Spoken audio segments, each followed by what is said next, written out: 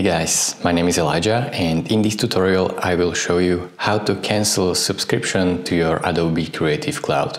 So first of all, you can go over to Adobe Creative Cloud and then click, click on Manage Account right here under your name. It will open a Chrome page or your browser page. Here, as you can see, welcome to your account. So here is your plan.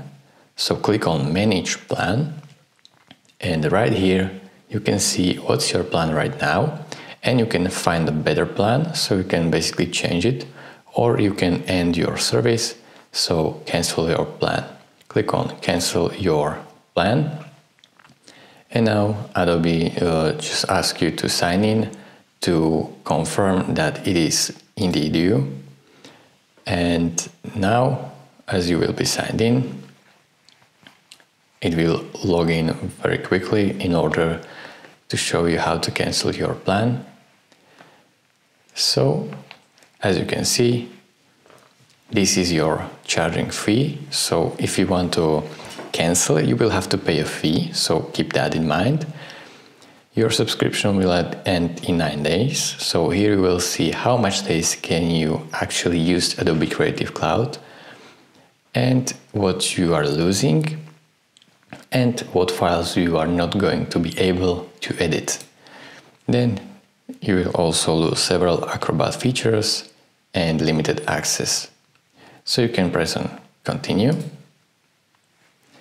and just here you can select your reason. So which one of these describe your experience? So it, for example, it's too expensive or I am uh, not using the product enough often. So you can click on that and press continue. And they will offer you to change your plan so you have, don't have to cancel it and you can click on no thanks. So click on that. And here as you can see, uh, Creative Cloud apps get your next two months free and save 72 euros. So as you can see, they will actually give you a discount if you accept this offer. So that's pretty awesome. So you can accept the offer and use it two month discount.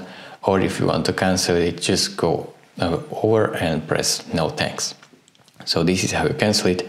Thank you guys for watching. If this video was helpful to you, consider subscribing and liking this video and I will see you in the next tutorial. Bye bye.